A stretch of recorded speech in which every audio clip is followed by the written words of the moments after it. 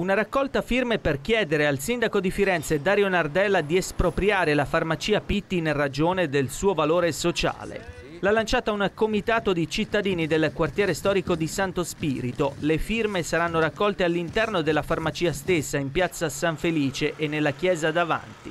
I residenti del quartiere temono che l'attività possa essere coinvolta in un processo di trasformazione edilizia che riguarda l'edificio all'interno del quale si trova e che potrebbe farla diventare la reception di una struttura ricettiva, hotel, suite in affitto o bed and breakfast. Giovanni Pallanti, già vice sindaco di Firenze negli anni 90 e portavoce del comitato, ha spiegato che la proliferazione dei bed and breakfast, le abitazioni a uso residenziale a disposizione solo dei soggiorni brevi dei turisti, stanno distruggendo il centro storico.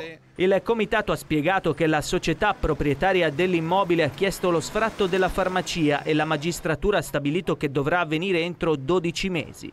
Nei mesi scorsi, ha ricordato Pallanti, il sindaco è venuto a firmare l'appello per dire che la farmacia non si muove. Ora chiediamo al comune l'esproprio, un intervento concreto in questa città devastata dai turisti.